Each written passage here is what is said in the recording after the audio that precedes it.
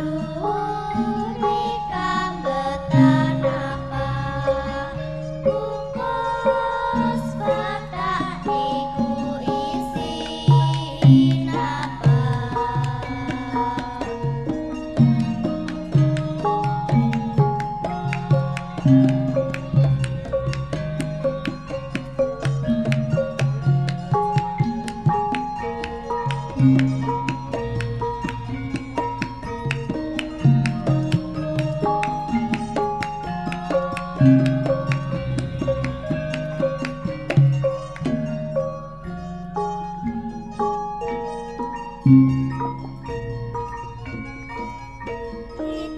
pauvre mari Marie, c'est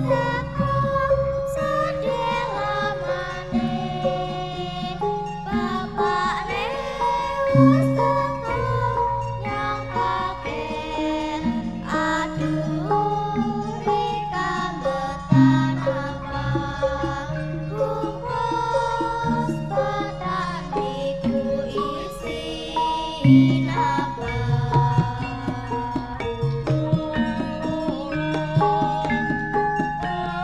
you.